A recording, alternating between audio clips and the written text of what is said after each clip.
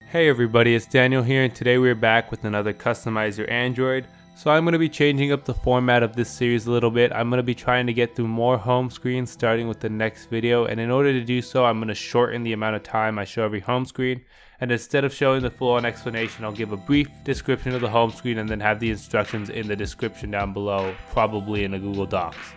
So let's get right into our first home screen. This was submitted by Taran Sony. I'm sorry if I got your name wrong. I'm actually pretty bad with names. But this home screen is super clean and simple. It does not have a dock, so you'd have to turn that off. And once again, you would need to have overlapping widgets in your home screen setup.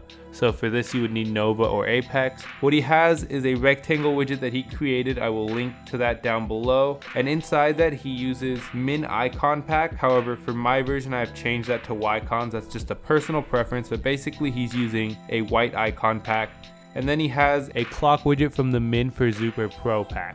This widget is very clean. He, however, has changed the font of the actual time. I also did that to one I like. He didn't specify which font he used. However, you can go to the Google Plus post and ask him which font he used. Anyways, this is all over a red, blue, and gray wallpaper. I think it looks super clean, and I think that the removal of the dock is actually a very nice touch, and I think it helps add a nice layer to this home screen.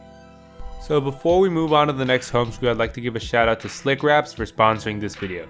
They have skins and cases for a multitude of devices.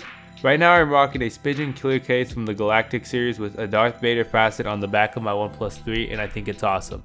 Definitely be sure to check that out and many more in the description down below. Thank you! Alright, now on to our second home screen. This home screen is a lot easier to set up. It's actually nothing very special, but I think it looks super clean, and I actually am a very big fan of it. So this home screen was submitted by Leander, and uh, I'm sorry, but I'm not even going to attempt that last name. This home screen is made up of a widget that's actually not a Zooper widget. It's called Form Clock Widget. We reviewed it a while back, almost actually two years ago when it came out on Android and it's still a very nice looking widget. He seems to have a blue color scheme going with some sort of maroon.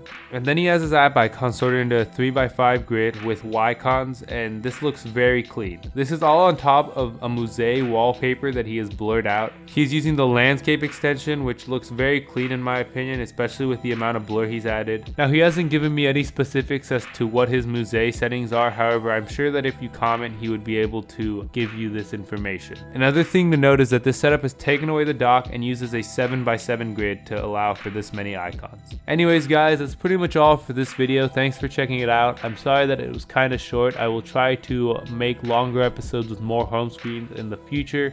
For all the information on home screens 1 and 2, please look in the description. And until the next time guys, stay fresh.